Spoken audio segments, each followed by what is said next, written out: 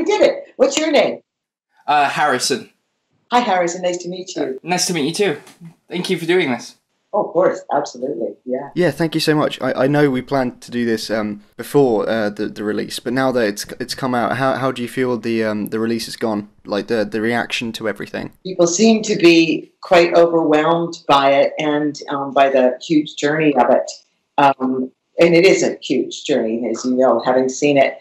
And uh, the reaction seems to be like overwhelmingly positive. Um, I guess people are just they're they're touched and moved by it on any number of levels and um, that's just really cool. Yeah, I I loved the film. It was it was brilliant. It's one of my favorite films that I've seen in quite a long time. Um, so the first thing that I wanted to ask was um, in these Planet of the Apes films, we have people playing chimps, we have gorillas, and then we have an orangutan. And I was wondering what what distinguishes an orangutan playing an orangutan from playing, say, a chimp, as Andy Serkis would have to do, or from playing a gorilla. This is a wonderful question. It's one I actually haven't been asked often enough. I think um, orangutans because there are distinct differences between mm. all three species. Now, uh, I'm not entirely familiar with chimpanzees. I have observed and studied gorillas a little bit, but one of the major differences with orangutans, well, there's several actually. Um, we obviously, obviously, with all three of them, humans share more than 97% of our DNA. Uh, it's mm-hmm. infinitesimal percentages. We, as human beings, we share the most uh, DNA with chimpanzees. Um, but in terms of the evolution, um, what what originally happened, and I think going back, oh, things are has nothing to do with me. Sorry, I'm just looking. Uh, the evolution you was separated, I believe, originally about 14 million years ago when orangutans went off one way, gorillas and chimps went another way, and then about 10, I believe it's about 10 million years ago, and I may be, you know, in or out by a million years, mm-hmm. but that's when the human humans separated off from chimpanzees. It's, or it's actually maybe it was like a and the um, gorillas and chimps split, and then about seven million years ago, I believe. Their uh, thing is is that humans went there. So orangutans, I, I mention that because orangutans have been um, this species uh, unto their own for even though we are all primates and we all you know associate from the same place for the longest time, and they as a species um, I feel, having gotten to know several orangutans and studied them for the last seven years, they are they they are intrinsically orangutan. I don't know how else to say. That's just in terms of the character thing. Um, they live on the island only on the island of uh, Borneo and Sumatra and Indonesia. So that's not they're uh, unlike the African apes. They are only they are the only Indonesian ape. They're also the only arboreal ape. Uh, so they their bodies have uh, evolved uh, in tandem with that. Their hands and their feet both function, can have uh, functions as hands. So an orangutan can as easily grab, you know, with a foot as that. Yeah, I know. I've a lot of yoga. It's they, they can as easily grab with a hand as with a foot. Um, and they have that yogic flexibility, which is, as a human being, is something you have to bring to it. They have this massive upper body strength their legs are half as uh, long as their arms. So an orangutan's arms are twice as long as their legs. So I would say in terms of the in terms of how they move, both gorillas and chimpanzees do have an ability to have a flat-footed back foot, but push off. I'm just saying as an actor, it's one of the things.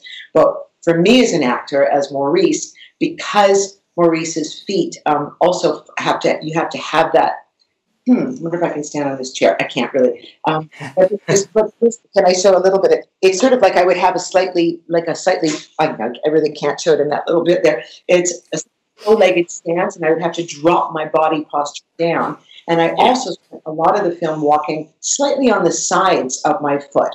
So that there'd be, so I'm trying to get my, my Karen foot, even though I'm in runners and stuff like that, um, but into a kind of a curved thing there. So I'm feeling like all of that, and any of the push offs that I have are from there.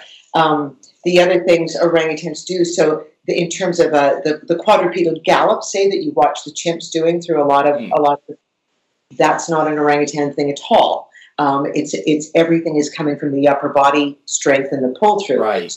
The crossover walk or a crutch walk. You often you'll often see me doing a crutch walk as Maurice if I'm coming down something, and it's usually a boom boom boom boom, like a double a double landing thing, which I've taken from the mature males that I've observed for the past several years. Um, so there's differences in the walking like that, and then of course they have this huge, the mature males especially, um, have this huge upper body thing, and the with the mature males, the the cheek pads and the throat sac that creates this, inc- and that's something that develops when um, they become an adult, um, like a voice dropping thing, and. Only for the males, for anybody who doesn't know about orangutans, it's only for the males. And once they develop that, then they have the capacity to make long calls, which is the classic um, the classic vocalization for mature male orangutans. And that is a huge thing. And I've, I've been fortunate to be in the presence of and listen to and record for my own study and to bring into my own voice uh, the long calls of I think five different mature males. They've they've um, gifted me with letting me hear them, and then boom, I get out the I get out my report, and each of them is different. So for each each depending on their age, uh, there is individual orangutans obviously are as individual as any of us as humans. So uh, the mature males who I've heard long call, and the mature males that I've gotten to know, they are each each as individual as Maurice is. So my long calls as Maurice, and there's a, a long call can be it can be a massive thing that is is quite lengthy. Starts out small and goes off into this huge thing that then eventually, depending on what they're trying to say, can settle into some some size at the end of it. Yeah. But depending on, or it can be an abbreviated long call. It's sort of a description for the sound that only is produced by mature male orangutans. Totally different from the chimps, obviously. Totally different from the gorillas and the silverback gorillas, who uh, have very specific things that they do as well. Um, the uh, and yet even with the orangutans that I've known and the female orangutans I've known, um, they each they each can have very unique, specific sounds that they make. I know one orangutan, Melody, who I, am seven years later, I'm still trying to to get this in my voice, and I haven't been successful yet, uh, entirely successful. Um, but I have brought it to a part of Maurice, not so much well, actually, a couple of times in war, but a couple of times in dawn as well. Melody has this thing that's like a bark, but it sounds like a. It, it's I have to get in, but when you hear it, it goes into a growly thing too. And she's a female, and you go. But the first time I heard it, I thought, "It's a bear. It's a bear. What's going on?" and yet, female and it's one of the only sounds she makes. There's another um, male, Haran, who is Towan's son, who um, his nickname is Squeaker because he sometimes squeaks very high pitched when he's frightened about something. That's unique to oh. Haran, the Squeaker. So each of them, and then Chinta, another orangutan I know, I personally have not heard her make any sounds, though I know I know she does. But as I say, they're each very individual like that. But their sounds are complete, their vocalizations are completely different from gorillas and chimpanzees. There's none of this ooh ooh ooh, none of that. Yeah. so. so, so when it comes to the sounds of Maurice, would you say that it's more like uh, an amalgamation from uh, all the different uh, orangutans that you've studied, or is it more like you've uh, deliberately uh, tried to make new sounds for Maurice to create his own uh, identity? Um, both in a way, because there's two things I'm doing as an actor with. Well, a couple of things I'm doing as an actor with this. Um, one is maintaining and striving to maintain and create Maurice's orangutan integrity throughout. So that means in terms of the quality, the vocalization, the movement, the everything. However, within this storytelling, um, there's this the specific story of Maurice. His background, his uh, character background, is a performing circus orangutan, which he was before the San Bruno so-called sanctuary um, in Rise and the fact that he was performing and had sign language as a skill. Um, so there's so there's a certain sophistication and um, a uh, he's been um, what's the word uh, when you're used to being around human beings. Maurice had that, not in a good way. So he's been very much in, imprinted, you know, in a, in a certain way, and uh, so that's also part of him, which is so that very individual to him, but also and not that I never discussed this with uh, anybody, not, not, with Matt Reeves, not with Rupert Wyatt, not with anybody, but I did look early on as an actor, going, all right, where is Maurice's place within the larger storytelling of Planet of the Apes? And as an actor, I felt it was my responsibility to make a choice early on and go, who do I think Maurice ultimately is within this? Somewhere early on, this is just me, like, but uh, before for Summer Between Rise and Dawn, I went, Maurice is, is I think, ultimately, and I can't, this is just from me, I just went, Maurice is the lawgiver. So that's I just felt like that is probably so I, I, made that choice quietly for myself. Actually, this is the first interview I've ever said it in that I actually felt that up front. So with that comes, to my mind as an actor, a certain responsibility to um, make that part of his character as well in terms of his vocalization, like everything he does going forward. So there's something about the fact that the lawgiver would um, be, is quite fundamentalist in a way, very like we keep the eight rules, we set up the eight rules. And I felt that had to be part of Maurice's character.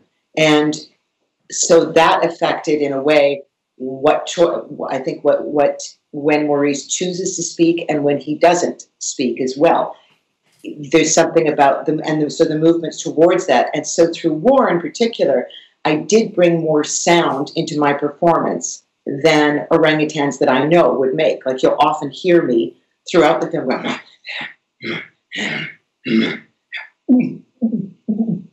or whatever whatever it is. Like so there's more vocalization for Maurice throughout this film than there has been previously in some ways. Um, but that for me is moving towards within that character trajectory of going and then finally speaking as I do for very good reason at the end of this particular yeah. film. So yeah, so there, I think it's, it's like that. It's, it's the storytelling of Maurice here. It's orangutan integrity, and then it's also Maurice's place in terms of whatever I've um, assessed it to be within the larger storytelling and the mythology of Planet of the Apes. Um, you kind of touched up on this a little bit earlier, but I was just um, wanting to ask. Obviously, there's quite a big difference between male orangutans and female orangutans, both in terms of their behavior and in terms of their physicality. And I was wondering if, when you're playing Maurice, do you ever think about him as a male character, or is that something that you kind of don't even consider when you're playing him? Um, originally, when I was first cast as Maurice, and you know Rupert Wyatt cast me as Maurice, and I I remember when he actually said I first met him, and uh, when he first he actually said to me outright, he said, "I want you to play Maurice." he's old, he's fat, and he's from the surface. And the only thing that I could think was, and because I was just starting to get to know about orangutans, my study of them was in its true infancy. And so I hadn't even paid attention to any of the male orangutans. At the time, I, I was looking at the pictures of the females and the pretty little oh, babies. Right. So much, like whatever that is. And then thinking, those guys, like with the great like, whoa, what's that? Once I dove in and just went like, okay, this is now part of um, my life, or this is part of my journey as an actor, is to become this character. Then no, I, I, I stopped thinking about you know gender issues. Yeah, there's other things that go into that. There, I mean, there's the sound. There's his weight, which I've had to bring to him. It is not something that. So it's more specific things like that, like with his weight through the first film because it's not they uh, Weta can't make that up later. As brilliant as their work is, they can't make up the you know landing of Maurice. Yeah. That's up to me. So what we did through Rise, bless Terry Notary's heart and his wonderful training in quadrupedal walking, but he attached weights to each of my arm stilts. So as I was trucking along, you know, uh, trying to keep up with the chimps, um, I had these extra weights on my arms, and that really helped me partway through the filming of Dawn, I started Dawn also with the weights on my arms to still, you know, keep me in that weight. And partway through Dawn, I don't know, remember when, maybe when we got to New Orleans or something, um, I went, I think I can lose them. And so that became an uh, innate part of me. So by the time we got to war, besides the fact that I could just sort of land in Maurice and the quadrupedal walking and running, which is incredibly cardiovascular, uh, if you just got down, if you tried it for maybe five minutes, you'd go, no, really? No, really? more than this. It's an amazing thing to, to do. But by war, well, I still had, and I had to train hugely to prepare for this. But now Maurice's weight is in my body, and if I just get the arm stilts, boom, I'm there. So it's yeah, I don't I don't think of it as being a different gender thing. I just enter into Maurice as I would into any other character I'm playing. Um, you you mentioned in your, your previous answer that you consider Maurice to be kind of like uh, the lawmaker, and I was just wondering where you'd consider his sort of paternal side in that in his character because we sort of saw it with uh, Alexander in uh, Dawn of the Planet of the Apes and much more now with uh, Nova in War. And yeah, I, I, was just wondering where that sort of fits into Maurice as a character. Not so sure. I haven't thought about it as paternal. I have thought about it as um, um, there's something like where Maurice started in Rise is so like in that when we were in that little caged environment and stuff that's not not a good one. Um, and Maurice connected with Caesar through the sign language. I think it's hmm. probably for Maurice, and this is just my assessment of it, was possibly his first time connecting with another ape able to communicate because they had sign language. So that was so profound, and his connection to Caesar was so profound that for Maurice, who came from a place of like guarded watching everything, you know, he's just good. I mean, he probably did what he was supposed to do to survive as a circus performer. But once he reached there, then he just watched and would do nothing unless it was, you know, he knew it would be safe, which is also quite an orangutan quality to be very specific about actions, only to take only to take effective actions and not do anything gratuitous. But I think it was more than entering into a paternal quality of thing. His connection with Caesar kind of opened him up a bit, so that he became more um, sort of came more into himself, more willing to be the yeah. and the character that he actually is.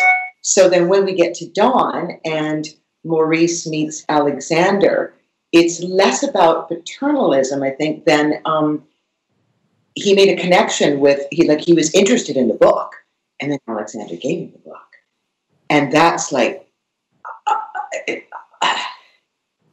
you know, it it, it, just reached Maurice on a level yeah. that like that. So he, he was responsive to that when later in Dawn he said to um, Alexander and his family, run you know, it, like the, the, one time he had to speak in that was to go was to offer something. So then coming to no, coming to meet Nova and finding Nova in this one, and actually on the first day we had it was about there was an early day before we started filming where Matt Reeves and Andy Serkis and I and Terry Notary and Michael Adamthwaite actually we were in a room going through the script because as a posse we wanted to track through the journey. So I had a couple of questions for Matt Reeves, not a lot because the script is so well written and so everything that's on the page is everything you need as an actor. But I did have a couple of questions for Matt, and one of the things I asked him was um, when Maurice gets to Nova, what's your feeling on why he takes her? I just thought as an actor, I was that. And, and I'll never forget Matt Reeves went, She's a broken bird. You take along the broken bird. And I went, Great, thank you. That's it. there was no extra, oh, you know, as beautiful as all that, or, you know, as, as specific and all that is, that's the place that Maurice is functioning from. It's a very organic, very, I almost like if I was to put it in words, I don't know why I must do this, but I must do this. Mm. And so the journey begins rather than the journey, rather than going, I take care of you and answer. It's like it, it initiates a question of a journey rather than finishing one. So not paternal, maternal. It's just so then Maurice is on that journey. He's following an inner uh, impulse that he simply must you just touched upon something that I thought was really interesting because I think Matt Reeves is very, very good at character work, and particularly, I think, is evident in both of these Planet of the Apes films that he's made, doing character work with minimal dialogue. And I was wondering, as as an actor working with Matt Reeves, what do you think it is about his? What is it that he does that manages to make all of those silent, calm scenes work? How does he make those non dialogue, non talky, non action scenes so engaging and so deep? It's a commitment to truth. That, that I don't know how else to put it. He's going for the truth of the emotion, the truth of the story, and working with him is um, it's incredible. I mean, it's you, the experience couldn't get any any better because he is looking at every moment. He's just going, okay, and then what about this? But it's it's already he's already he and Mark Bomback have already started by giving this to us on the page, and then obviously, well, obviously working in tandem with someone like Andy Serkis please, you know, you know, like um, uh, you just go, okay, what I what do I have to do? Show up, be available, um, know where I'm going, just be entirely present and give 5,000%. Like just be there entirely. So it's a matter of just the focus and then honing in. And I believe that's what Matt Reeves does because we may do something, um, we may do, I don't know, sometimes 5, 10, 20 takes into something, but it, it's not necessarily, oh, do it differently, oh, do it differently. It's not, he's not, um, what's the word? He's not sort of playing around with us as actors. He's, it's like he's honing in with a chisel or he's carving, like what you're going, to ah, there it is. Now I've got it right there. And so as actors, you just go on that with him. And then you just go, go, go, go. So the, the his attention and his listening to the inside story, um, it, it, his his attention is so deep and is so in there that what he's crafting is on a very deep level, and I think that's why it holds interest. And then, obviously, when he's editing and in, the, in refining and which beats he's actually going to share uh, that remain in the film, um, uh, uh, the, the same attention is there. Now, that said, basically, I can't think of. I was going through and going, is there anything that I filmed that didn't show up on the screen? And I don't think so. So it's like everything we did, like everything that we did. Uh, I like the whole thing was there. So basically, I've already experienced the film. At yeah. least to speak for my own part as an actor, is the refinement of that was there on the soundstage or out on location or wherever we were, we were or in reshoots or whatever. So it's, it's his attention to emotional truth detail is so. Oof, um, he, yeah. he's laser sharp. He's a truth-seeking missile. That's what he is. Hmm. Uh, one aspect of the the character that I wanted to talk about was um, that uh, over the past three films, Maurice has basically become uh, like a fan favorite, and I, I was just wondering uh, what you think has caused him, uh, what particular characteristics has caused him to become, uh, you know, resonate with audiences so much. I, I think we have to ask like people who get attached from the outside because I don't think I can answer that one. I, I really because what I can say is from my own experience of getting to know orangutans and specifically Towan, who Maurice is based on, from my perspective. Um, and, and Maurice very much is inspired by Towan, a mature male orangutan who um, I first observed in 2010 and then got to know throughout the rest of his life. Um, and Towan, whose name translates as master, and truly was the master in every way. So all I can say is that the experience that I had getting to know Towan and the gifts that he gave me along the way in terms of guidance on just about it. I mean, you know, like uh, like I could observe him, and I learned a great deal that I brought into Maurice. But all that aside, just in terms of my own relationship or communication with him as Karin to Towan, um, I had this feeling of this, like I felt like I was in the presence of a master and of some a, a, being who is considerably greater than myself in some way, um, and very compelling and irresistibly compelling in such a way that once I got to know Towan, who then introduced me to, I have always felt like this. Towan introduced me to the rest of his orangutan family, and then all the people working in conservation, and then the larger world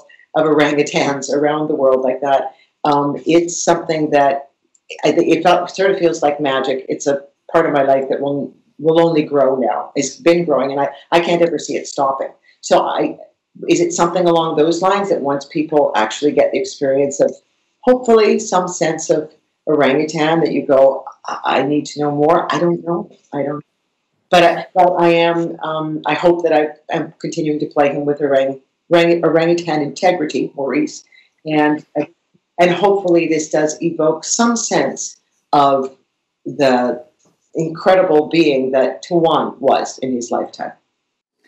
Uh, I was wondering if there was anything um, going back to sort of the, the physical differences between humans and orangutans. I was wondering if there was anything, perhaps it could even be something that seems fairly inconsequential, that was quite difficult to do just because you're trying to do it like an orangutan, like I don't know, horse riding or something.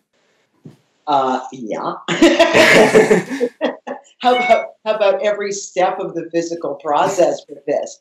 Um, as I said, quadrupedal walking alone. Like I'm just saying, I, I've been a dancer for most of my life and done 20 years of musical theater and had some pretty big dancing roles and everything. So when it came to like, and I mean this seriously, when it came to quadrupedal walking, and I looked at it and went, well, what's so difficult about left foot, right hand, right foot, left foot, right? It's like, please, I can do triple pirouettes. Give me a break. Then you then you get over there and you do that, and you go, and the next thing you know, you're in a tangle on the floor. It, and if you've actually got some arm stilts at some point or some toilet plungers, you could try and just go left foot, right hand, right foot, left hand, and get your weight onto your front arms. You will find that, you, and then try to move and then start to use those things. So this was difficult from the get go. On the first one, especially with the weights on my arms, my shoulder joints were just screaming.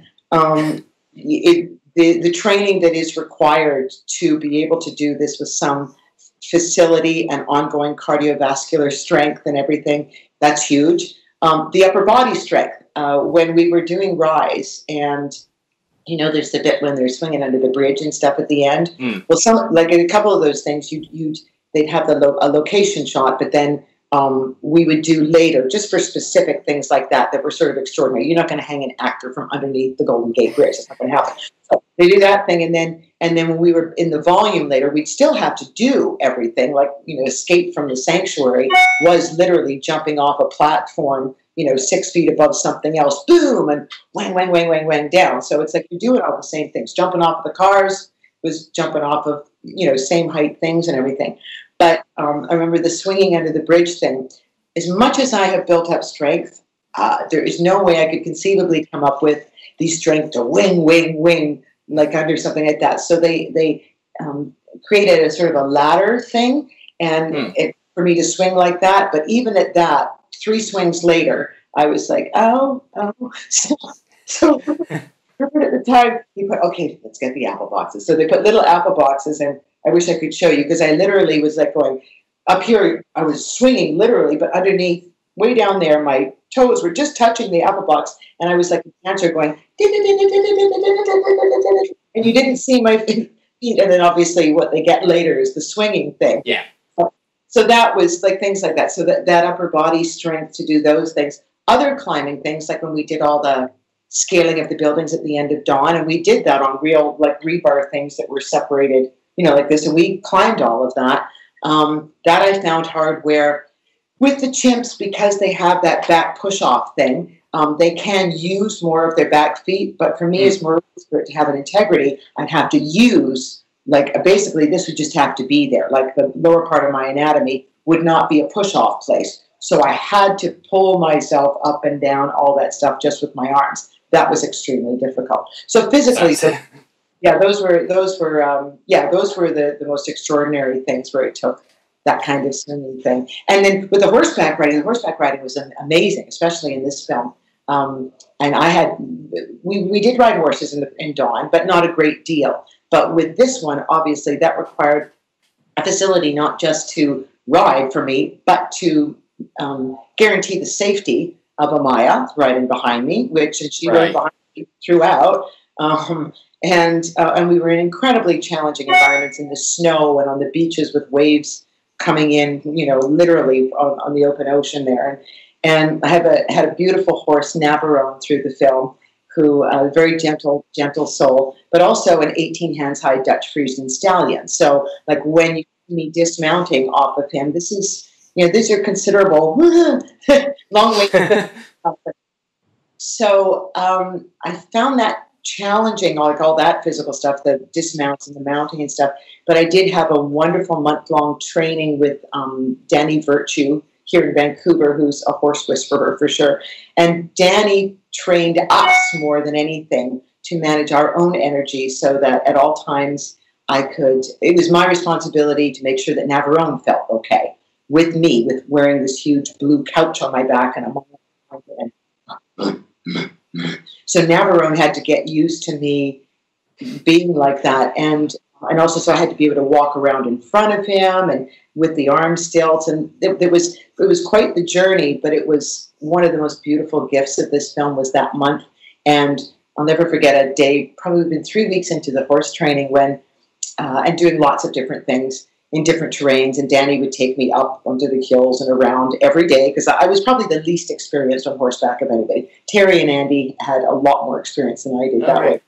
So Danny would take me out on trail rides, and I'd have to learn to teach Navarone, not teach Navarone, but Navarone loved to like eat leaves and bushes and stuff along the way. Bit of a pushover. So we would be going and the next thing I know, Danny would be riding ahead of me, and Navarone would go, and I'd think, he'd he had a whole bush, and we're walking along. Oh no, Danny doesn't turn around right now. Don't turn around. And then Danny would turn around and go, Aaron, rein in your horse. And I'd have to get Navarone to spit out the bush and carry on. And so, but it was training me to, to be with all of this stuff. Sorry, just quickly check it. Are you still okay for time? Yeah, yeah. Oh, great, great, thank you. Um, is it okay then just to jump into like one last question then? Uh, we, we five more minutes, yeah. As this is kind of like the, the end of the trilogy, I was just wondering uh, how you're planning to uh, continue your, your work with orangutans and the kind of the connection that you've built with orangutans over the past uh, few years. First of all, I will say it's not. Some people sometimes say, "What about your work with orangutans?" And it's so not work. I study them, and I'm a student of them. I'm a really grateful student. I feel I feel that strongly, like the choice of words there, because I happen to know many fine people who work with orangutans in in, and I'm following their work in Borneo and Sumatra, supporting as I can, and also at the Center for Great Apes in Wauchula, Florida. So I have, like, I foster orangutans in a couple of different places: the Center for Great Apes um, the Sumatran Orangutan Conservation Program in Sumatra, and then the Borneo Orangutan Survival Foundation in Borneo. There are many other organizations doing incredible work uh, in the conservation of orangutans that I do follow, but these are the these are the groups that I've gotten to know over the last six years and follow their work most closely. Um, so, and also the orangutan SSP in North America, the species survival plan, through whom at their conferences I've been introduced to everybody doing this incredible work out there. So, will I study and learn from orangutans for the rest of my life now and do what I can to follow and support? Yes.